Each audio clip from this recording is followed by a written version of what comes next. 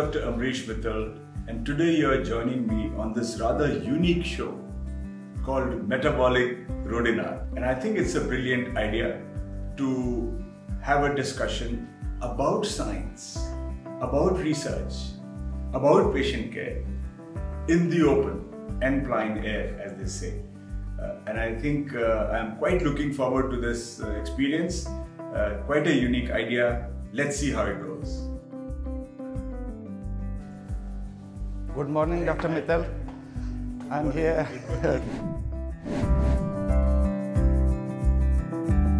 So basically, this is a metabolic uh, sort of roadinar, and we're going to do it in open air. So we're trying to blend history and nature with science. yeah, that will be fun.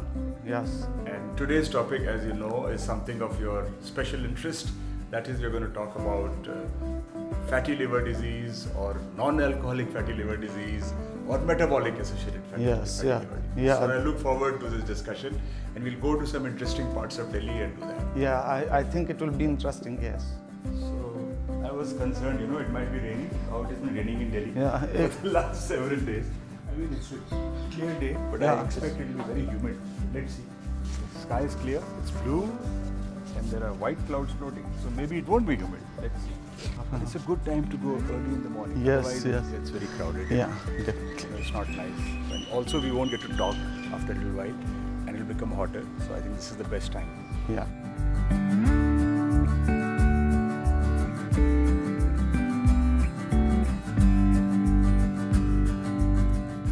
during the pandemic, I, I discovered Delhi. So I thought, you know, everyone knows Lal Killa and Qutub Minar. You know, they are famous places. Uh, and, uh, you know, most of Delhi is associated with Mughal monuments. But there is a very rich pre-Mughal history. So I was trying to look at these places and what I discovered was right next to my house in Basant is this place called Sultan Gadi, which uh, was the first Islamic mausoleum in, in Delhi and perhaps in North India for sure. The interesting part is that that place is a site of great importance, faith, and belief for all the local people. ये Indo Africa friendship park this is all the diplomatic so Indo Africa friendship park में रोज बहुत अच्छे होते हैं So after this nice ride on Sunday morning, uh, we are now at our first actual location. Uh, Yes. Gyara Murti. Yeah. This is represents the Dandi March Yeah. Miss Gandhi and by a famous sculptor called Devi Prasad Roy Chaudhary, who actually this is a very rich sort of uh, uh, symbolic sculpture and represents many many things. It's one of the landmarks of post-independence India.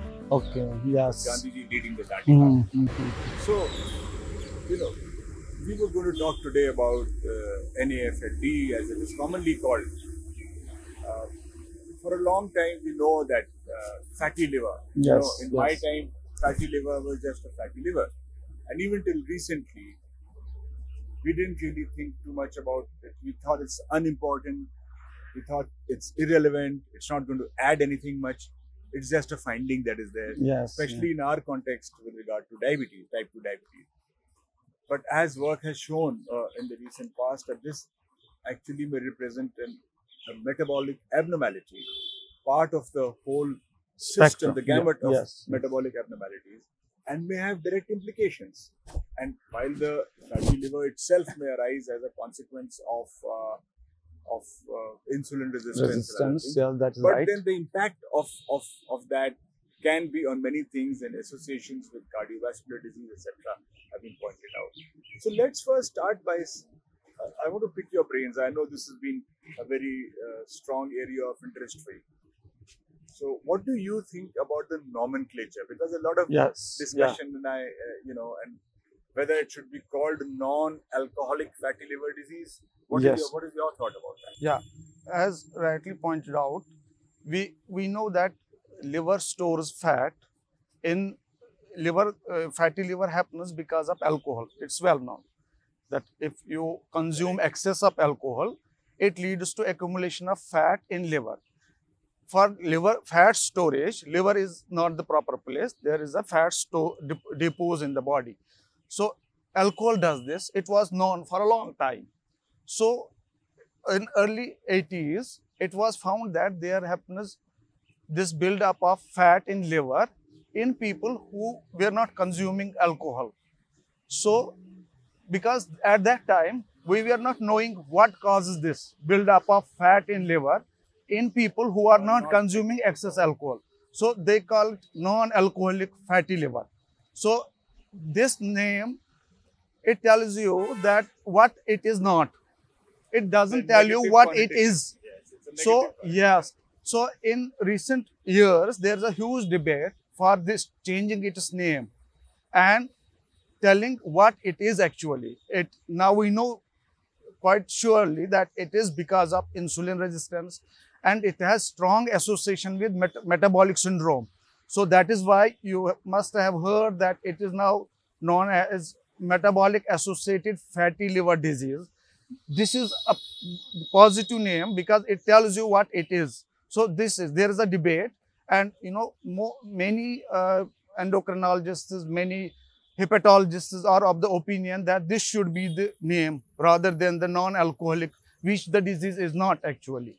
I mean, that was it was presumed that uh, liver disease of this type is caused by alcohol, Yes, and yes, uh, also the prevalence of non-alcoholic or metabolic associated fatty liver disease was very low.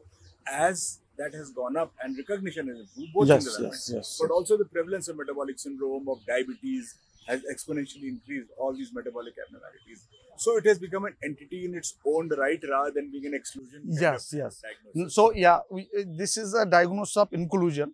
Now you you whenever you say metabolic associated fatty liver disease, immediately know what is the cause. correct Now non-alcoholic, what it is not. So yeah, this is the uh, uh, latest development that we are now thinking of changing its name.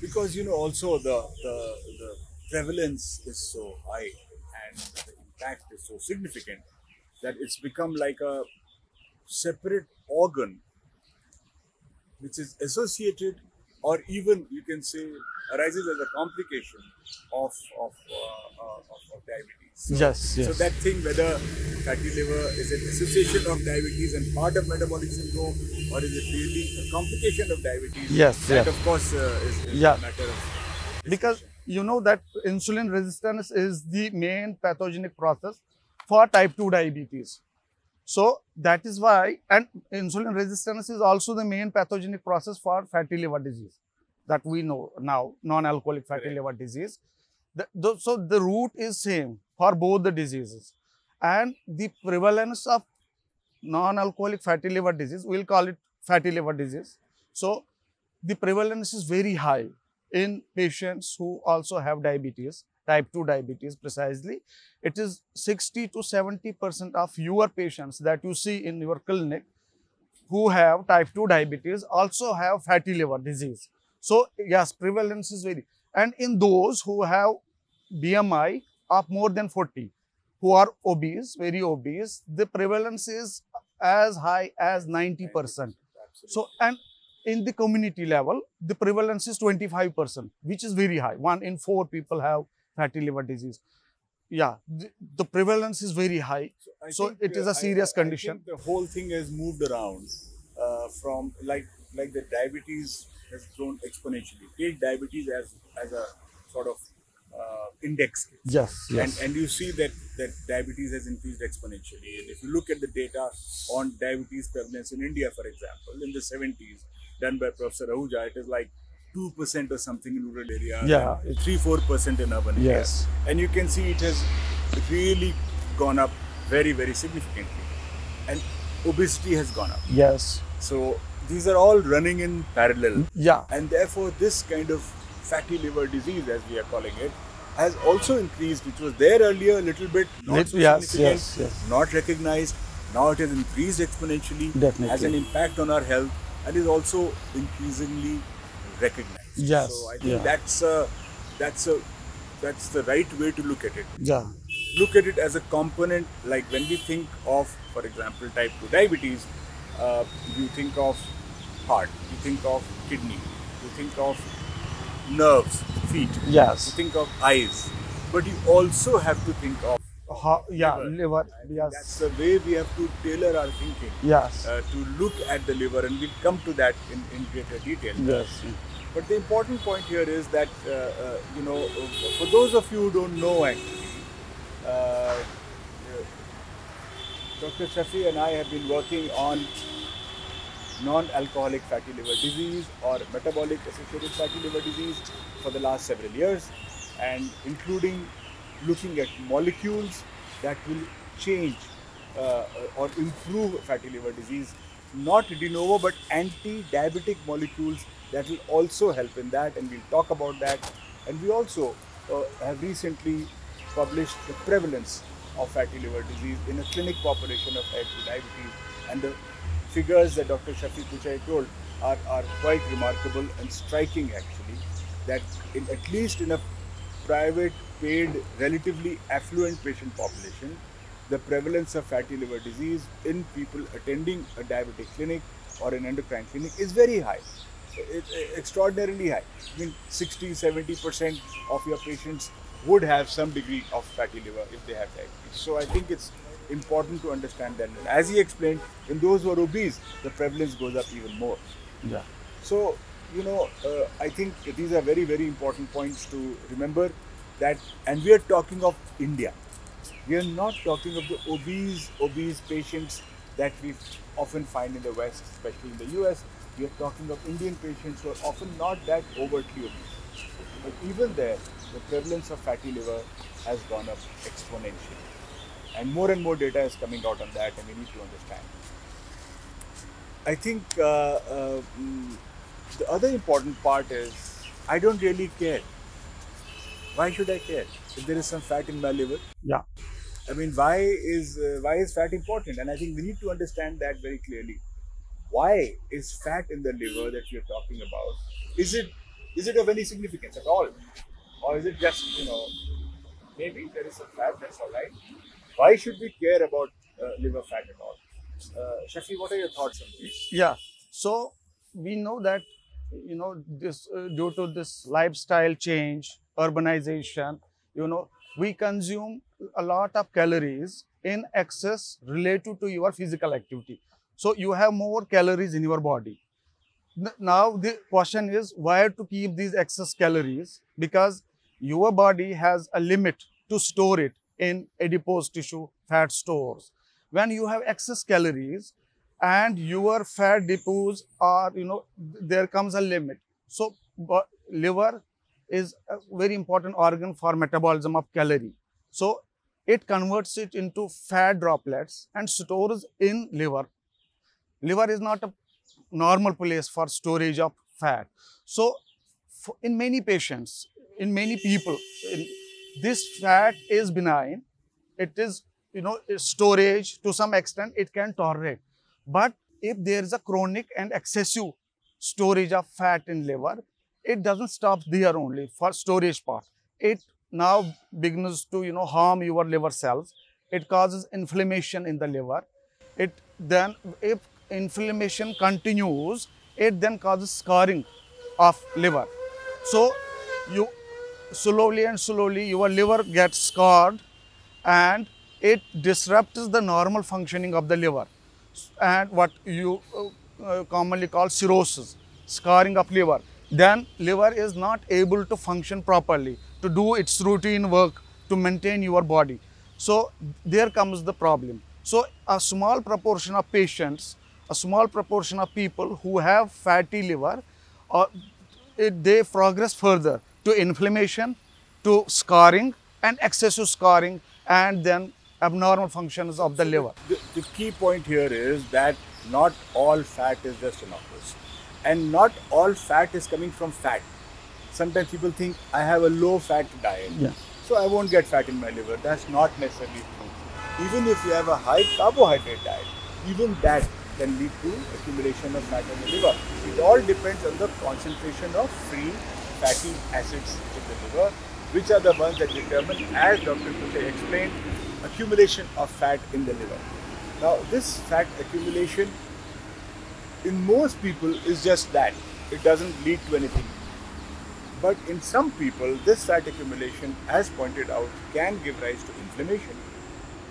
And subsequent to inflammation, actual fibrosis or scarring giving rise to cirrhosis of liver and even, unfortunately, sometimes hepatocellular carcinoma. Yes. Now, the thing is that the, the pyramid is steep.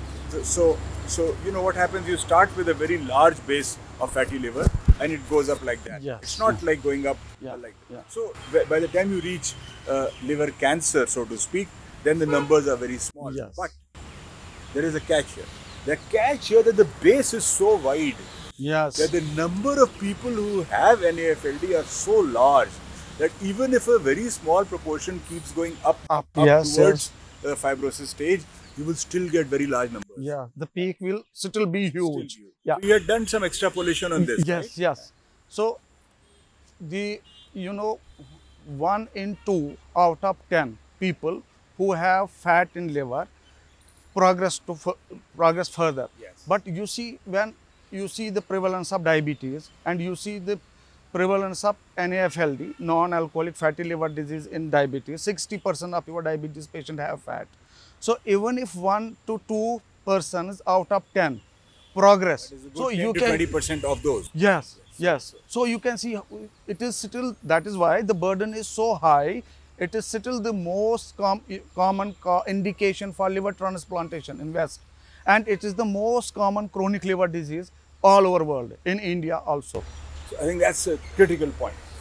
That's a very, very important point to make. That while most people with fat in the liver, as found on any imaging modality uh, or minor abnormalities, sometimes the liver function test will continue to be just like that and will not progress to anything very severe or serious. The truth is that the base is so large, there are so many people affected that that even though the pyramid is narrow and it's steep, you will still get a lot of people who reach the stage of inflammation, who reach the stage of, of fibrosis, so that the liver actually packs up and you get liver cirrhosis or sometimes even hepatocellular cancer. So the num- absolute numbers are important here. And I think we need to keep that in mind while we are talking, you know, it doesn't matter, most of our patients are okay. So without creating panic, we have to understand that the numbers are very large. Prevalence is very high, we know. The impact is, is high, you know, simply because of absolute numbers. Yeah. But I think we need to understand more about the mechanism of how this is happening in the liver. Yes. And I think uh, we should do that at our next site. Yes.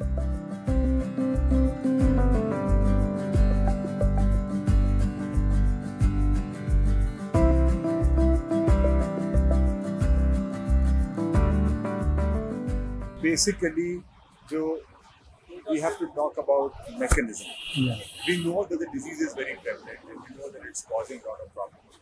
But what is it in the liver? What is it in the liver that actually causes fat to accumulate? Okay. And it also happens in some people. It doesn't And- happen in other people. Yes. So what is the reason? there is a lot of variability, heterogeneity in this. As you rightly pointed out that although many people accumulate liver fat, but it doesn't progress in all. It Correct. progress in one to Yeah. two per Yes. out of ten, as uh, we already discussed. So there is genetics at it. There, is, so there are many factors. We don't know all factors, but what happens at the liver level that it all starts from fatty liver acid. That is the substrate. The free That fatty acid. free fatty acid. That is the substrate that liver gets. And why does liver get this free fatty acid from? It gets it from fat around our organs in the abdomen and beneath the skin. That are the actual fat depots of our body. Okay. So insulin is the it holds this fatty acid in these depots. But when there is insulin resistance, so there is outflux of fatty acids from these depots. They are they are not able to hold it back. So you get a lot of fatty acids. Basically, you are saying that the free fatty acids they they are released from adipose tissue sites. Adipose tissue sites they release free fatty acids. The free fatty acid goes to the liver Liver, and tends to then produce toxicity there. Yeah, we will discuss that. But this is one of the main sources. That is why it is insulin resistance based disease. Another source is carbohydrates that you eat, especially glucose and fructose. In liver, if you have excess glucose and fructose, it liver converts it into again free fatty acid. We call it de novo lipogenesis technically. Correct. So now you have a lot of free fatty acids in liver. So what are the liver's de- defense systems for this? Number one, it you know burn, burn down this free fatty acid in the mitochondria. We call it beta oxidation. So, but when you have a lot of you know free fatty acids, Yes. mitochondria they don't keep pace with this, and a lot of toxic substances are produced. This is one path. Second path is liver converts this free fatty acid into neutral fat. We call it triglycerides and put it in VLDL, lipoprotein, and put it again into circulation. That is why, as you have seen, that in type 2 diabetes, where insulin resistance is the base, they have high triglycerides because VLDL is the carrier of triglycerides. So, these are the two pathways. Basically, it's uh, triglyceride accumulation in the liver. This triglyceride accumulation in the liver that is supranormal, Yes, and and and that or abnormal yes, that is a problem. instigating sometimes the inflammatory pathway also. Yes. So, so these are two mechanisms: uh, mitochondria pathway Yes. and VLDL. Uh, so, actually, we should have low amounts of free fatty acids so that these two pathways are enough to take it out. So, when your free fatty acid level is high, so another pathway is store this triglyceride in the liver because there is no other place. Why? What to do? Correct. So this is the third storage of fat in liver that we call fatty liver. So this is third and for a long time it remains neutral. It doesn't cause any harm. But when you have ongoing, you know, onslaught of, of this free fatty More and more acid, free fat yeah, free fatty acid, through diet. diet and, And insulin resistance, yeah. So So Free- diet also means not just a fat-rich diet. yeah, carbohydrate and fructose fructose is very important because lot of carbohydrate diet में होगा।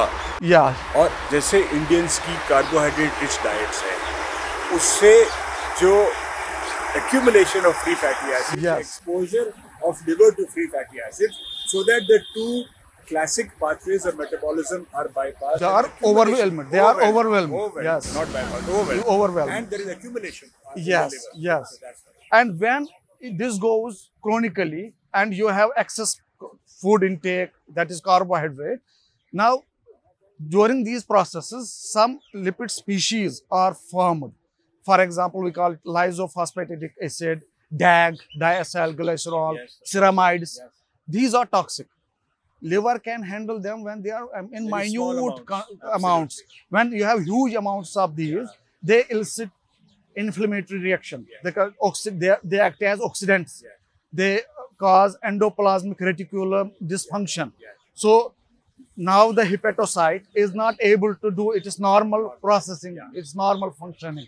And inflammasomes are active, they, they get Active, activated. yes. And now the cell, they produce interleukins that are inflammatory Inflammatory substrates.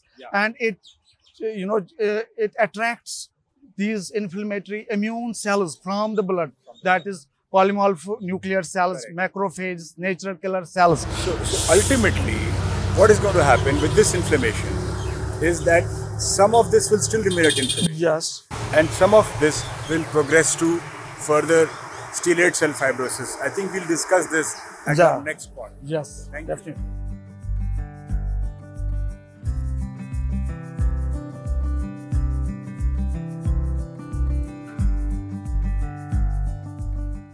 So, uh, you know, we've now reached this very interesting monument. Many people just walk past it. Uh, this is the tomb of Muhammad Shah, and this is from 1444. So, almost 600 years ago. Uh, The so, history. you know, if you look at the Delhi Sultanate, uh, there were five dynasties. And the first one was the Mamluk or the slave dynasty. The second one was the Tughlaq dynasty. Second one was Khilji actually. Third one was Tughlaq. And the fourth one was the Sayyid dynasty. So this is perhaps the only remaining tomb of the Sayyid dynasty. So every dynasty left their uh, uh, left their mark, you know, in terms of monuments. But I'm told that as far as Sayyid dynasty goes, this is the main tomb. So uh, it's fascinating, it's beautiful, and in, we are here in Lodi Garden, right? Now Lodi Garden is is like the cultural center of Delhi. In a way, it's a public park, but it's a public park that is dotted with unbelievable monuments. So you saw this from 1444, and if you go to the other end, you will reach Akbar's time. Oh. Uh, so primarily, it's a Lodi uh, sort of uh, uh, monument area, but there's one Sayyid monument and one Mughal monument at the end, and in between, the mosques and the mausoleum are all uh, from the Lodi period. So that's the importance of this one. So, you know, Shafi, we were talking about uh, toxic lipid metabolites Yes. accumulating in the liver. Yeah. And of course, as we spoke, it's the free fatty acid that starts the whole process. Yes. So the, the thing is that what happens after that? So these toxic metabolites, they are oxidants. They oxidize the uh, surrounding uh, normal organelles. They also uh, cause, you know, what we call endoplasmic reticulum stress Right, in the cell. right. They also activate inflammatory pathways and cause apoptosis of some hepatocytes, necroptosis, different type of cell correct, correct. and ultimately inflammatory infl- you know inflammatory substances are produced Mm-hmm. like interleukins like other uh, you know tumor necrosis factor these are the substances that actually tell the cell that there is some debris you know you have to clear the uh, Correct, site correct. so these substances then attract these immune cells from the circulation Right. like nucle- polymorphonuclear cells macrophages Right. natural killer cells these are Right. different cells. That are you know they they want to maintain homeostasis in the cell. They want to clear the debris. But because the so there is ongoing these processes lipid t- toxic you know species the process continues. And hepatocytes liver try to now repair it regenerate it. But it doesn't keep pace. So ultimately these cells the, the death of these cells happens and scarring starts. Because we know if you get a cut it heals by scarring. The liver also tries to heal this destroyed you know area. So they got more and more fibrous tissue is formed. To, and this um scarring accumulates in the liver ultimately giving fibrosis. So, so, so what you are saying is that what we understood was that there is accumulation of lipid, toxic lipids in the liver. Yes that triggers inflammation. yes And because of release of cytokines, because of that inflammation, that ultimately triggers fibrosis. yes that So- ultimately they activate uh, they are called hepatic hepatocyte uh, satellite cells So I thought the satellite stellate- cells The stellate cells are the ones that these actually. are these are the this is the common final pathway Right. you get many signals diverse yes, signals ultimately activating these cells Yeah.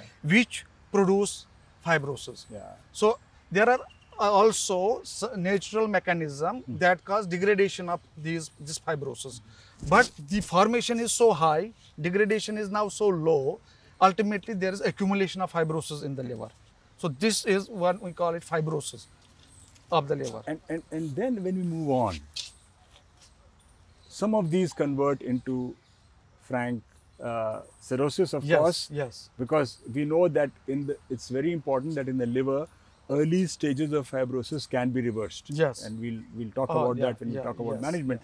But some of them progress to cirrhosis actually, and some eventually to hepatocellular Carcinoma, carcinomas. yes, So is right. there what are the predisposing factors? Who goes towards cirrhosis and hepatocellular carcinoma?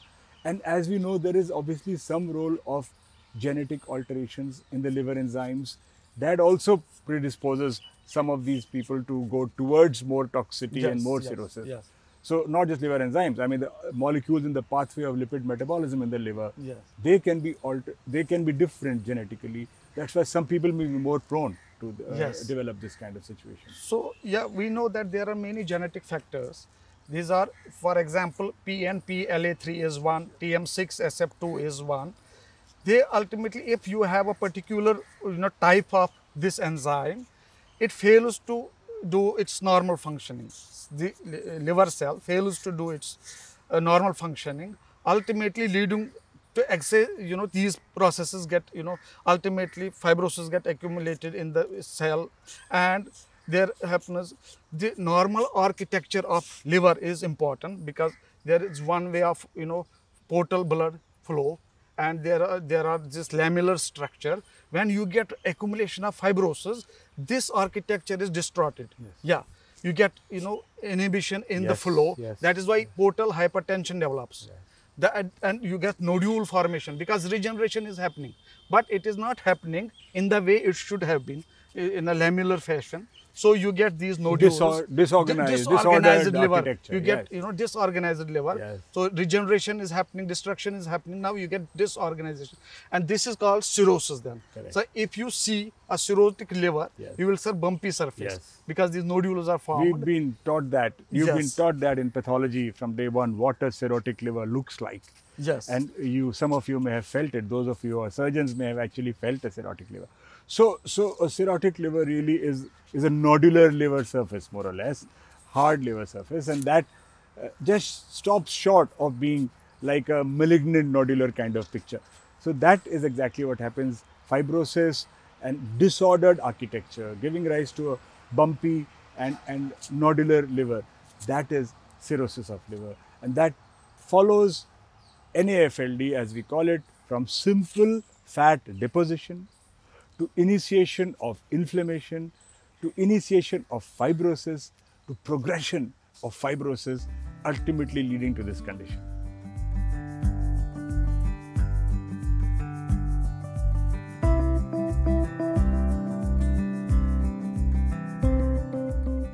We are now at uh, Sundar Nursery, one of Delhi's premier gardens, which has been redone and reopened in 2019 as one of the sort of most popular sites uh, already.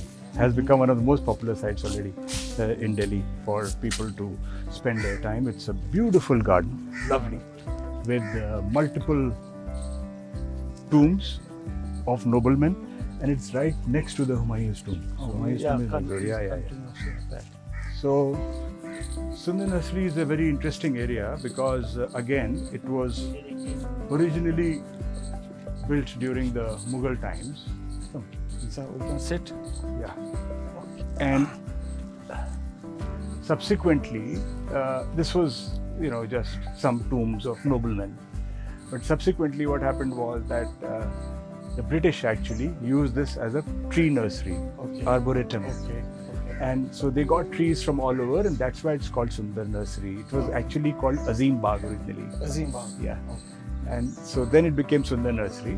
And then again it was there and there were trees and there. But then subsequently now the government, along with the Aga Khan Foundation, has redone the whole thing and is still in the process. Uh, restored the monuments, done you know landscaping. It's and they sort of have a water body flowing through like a typical Mughal monument. so it's it is a, it's a very pleasant and beautiful area it's become the the hot spot or the popular spot for Delhiites uh, for the last two years. It's particularly during the pandemic. Yeah. The pandemic became very popular yes. because open air was what was encouraged at that point. So let's now uh, continue with our discussions about diagnosis. Okay. Yes. So uh, a typical thing is to do a liver function test, as we all do, and we find some alteration in OTPT. The other thing is ultrasound of the abdomen showing grade one, grade two fatty liver. What does this actually tell us? What does this actually tell us? How useful? I mean, we understand its limitations, yes, but I wanted yes, to point out how useful is ultrasound for diagnosing this condition. For for managing this condition, you must have been seeing, you know, ultrasonography. Every patient having coming with ultrasonography, grade one or grade two or grade three fatty liver.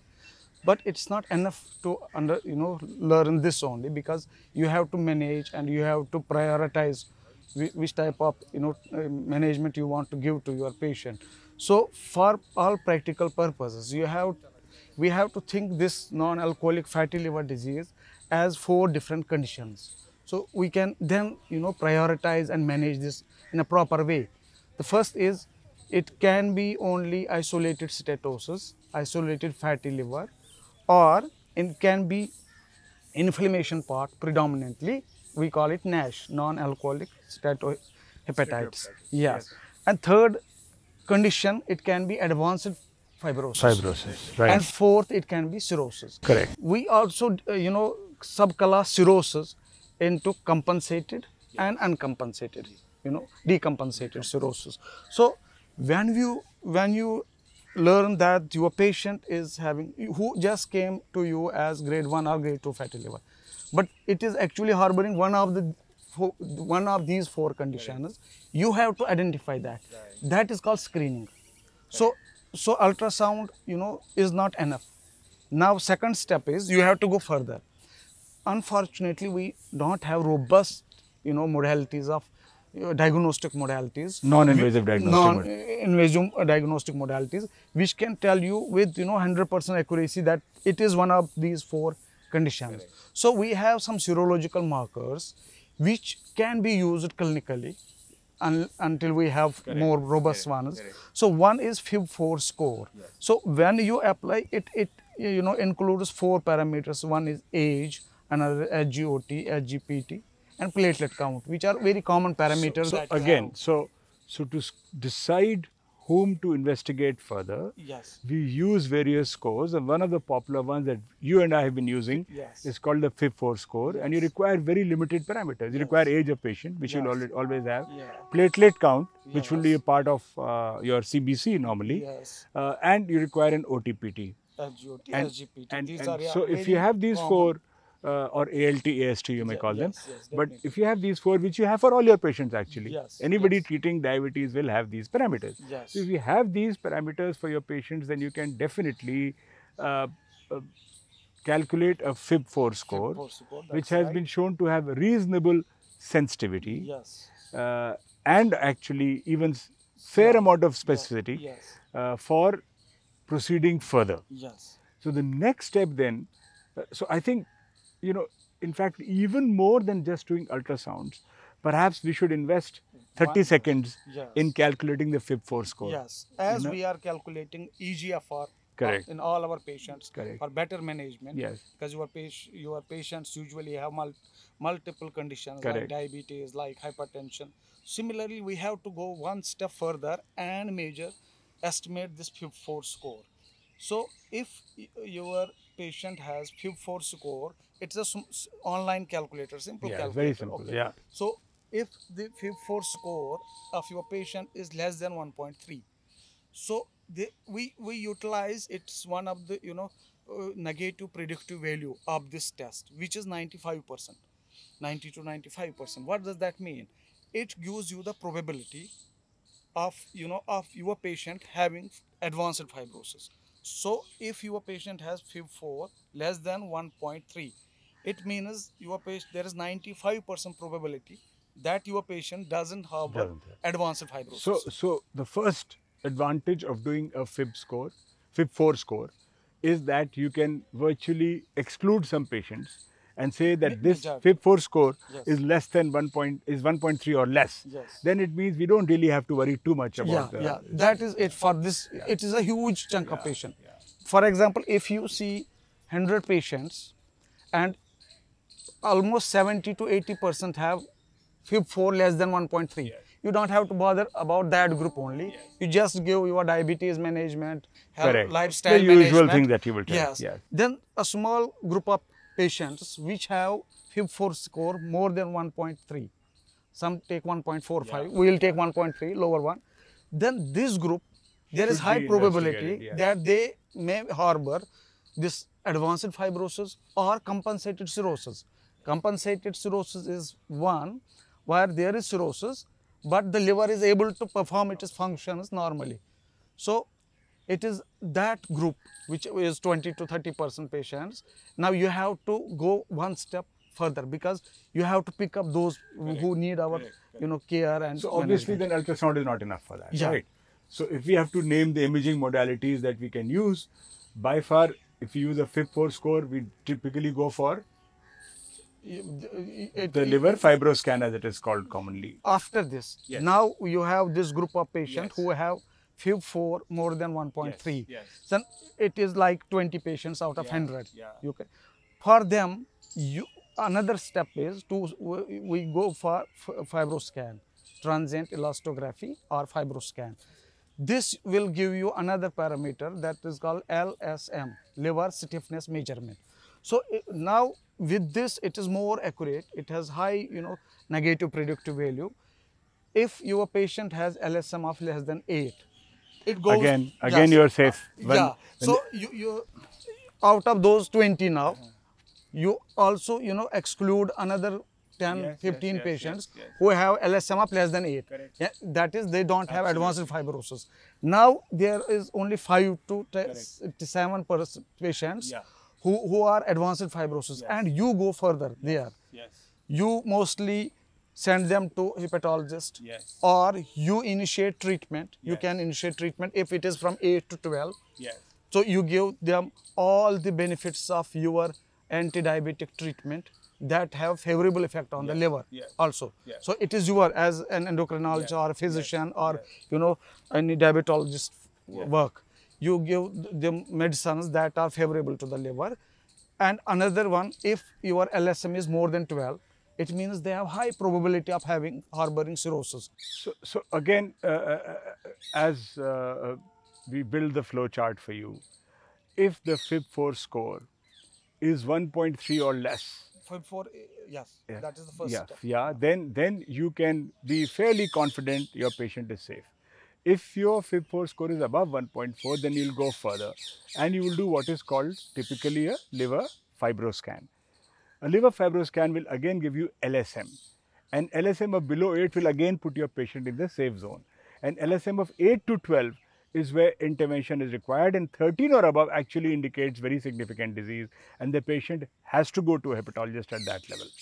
So that's how we try to classify NAFLD, the severity of NAFLD, and the stage of NAFLD or the type uh, of, of your patient based on the simple test of liver fibroscan is not a complicated test anymore. Yeah, it's It's not that expensive also. It is non-invasive, takes a few minutes hardly. And I think uh, what I think, in my opinion, and of course there are other ways we can do the most uh, refined technique, the the MRI, MRI, PDFF. yeah, yes. We have, you know, we have, we have other even ultrasound based techniques. this Some is wha- techniques look what at fat. common, yeah. Yeah, some techniques look at fat, some techniques look at inflammation, and some techniques look at cirrhosis, you know, that kind of thing. So, fibrosis. So, that's how you have to divide. So, if you're looking for just fat, you can do an ultrasound, but it doesn't lead you anywhere much. If you're looking for fibrosis, maybe you should do a fibroscan. If you're looking at research or maybe in the future sometime, an MR would also be good. But there are other techniques also. There may be a role of liver biopsy in some cases. Yes. You know, when you're really not sure and you're looking at detailed histology Yes. and you're trying to figure out, then a liver biopsy may also be very helpful. But the problem with liver biopsy is number one, it's invasive. You'll do them in you do it in very few patients, Yes. really high risk, right? Yeah, yes. Or the other problem is that at times you may only get information from one segment Yes. or one one It spot is- of the liver, so you don't get a full picture that the MR gives. One by fif- fifty thousandth part of the liver. Yes, So and and, and if you have to combine it with imaging, yeah, so there can be variability. We don't hit the right spot. So those are the areas that are that are important in this.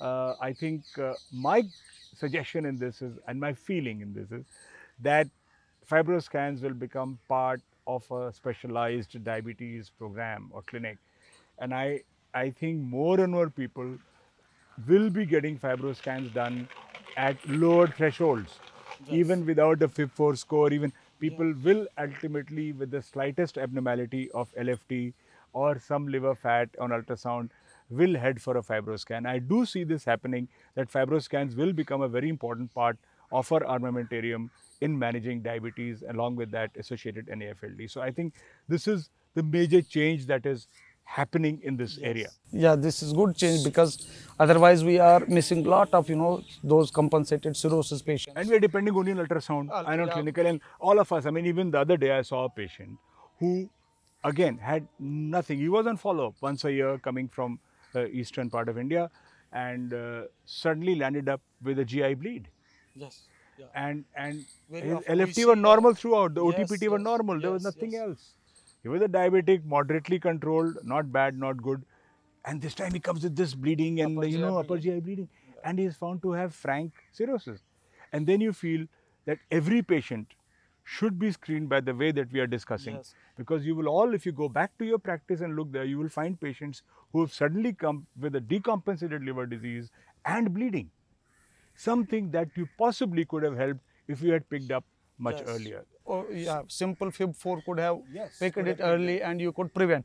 The purpose of whole this screening part is to prevent those catastrophic events. Yes. Upper GI bleeds yeah. and you know uh, uh, encephalopathies. yes. You see patients and upper GI bleed is totally preventable condition. You go for prophylactic endoscopic, you know, ligation of varices.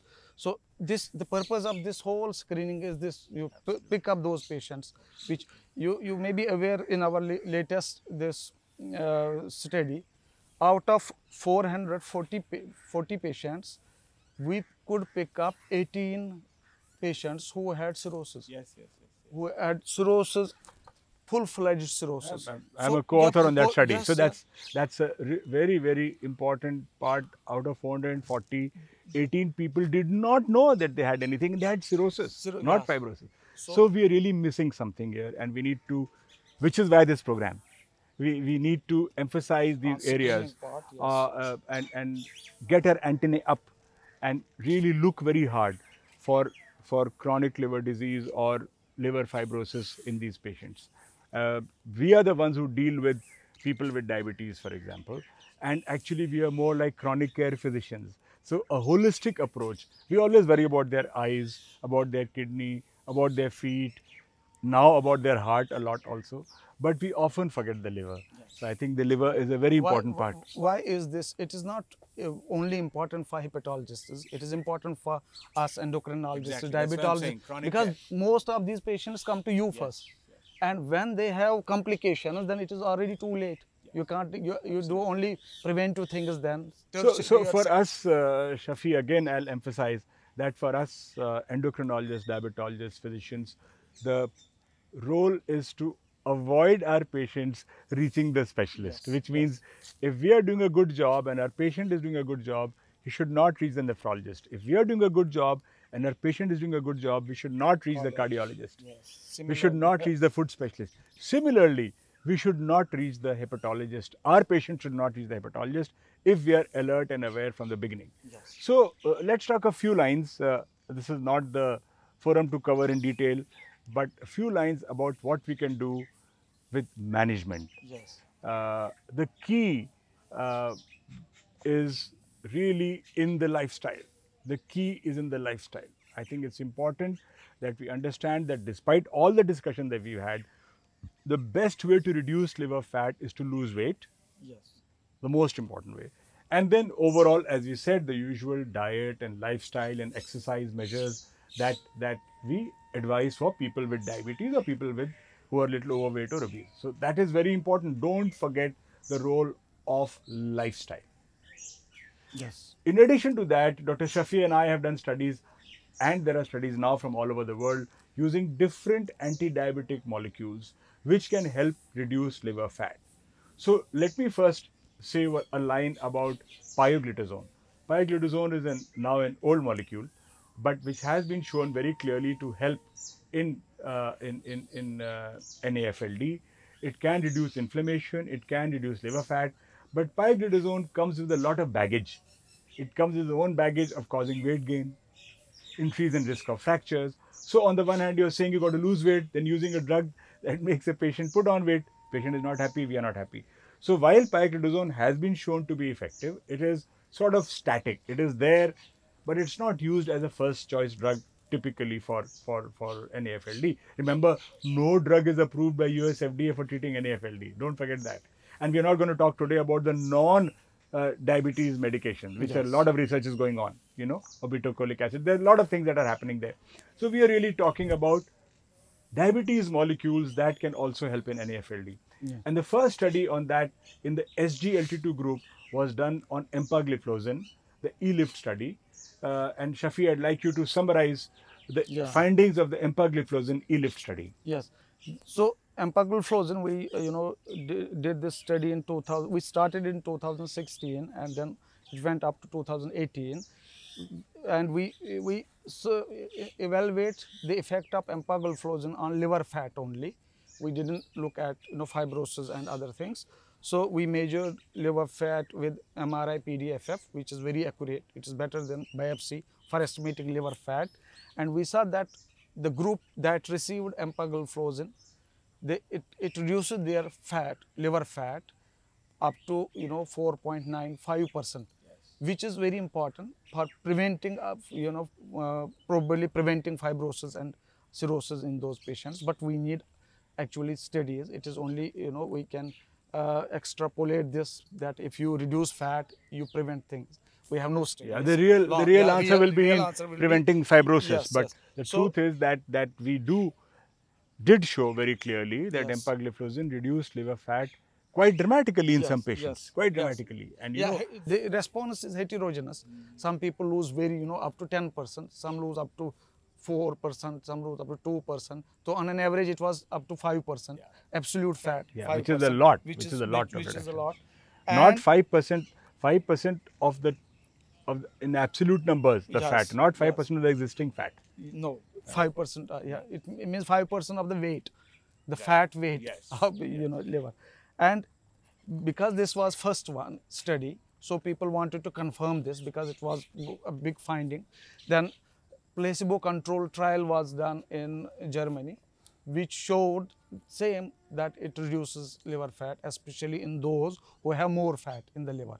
So later on, it was found that it is a class effect of SGLT2 inhibitors. So it was found with dapagliflozin, it was found with canagliflozin, and it was found with other ipragliflozin, which are you know available in uh, Japan. So it was found across the all SGLT2 inhibitors. Uh, this is SGLT2 inhibitor story, and pioglitazone, as you already, uh, I would mention that pioglitazone reduces liver fat, but it puts up, you know, subcutaneous fat. Yeah, which is actually protective, which is, it is not very It's not bad for- fat, it's yeah, but bad. still it's fat. You know, It is fat, yes, it is fat. So, but uh, one thing I would mention here that we have a group of NAFLD patients of normal BMI. We call it uh, NAFLD in lean patients. Correct.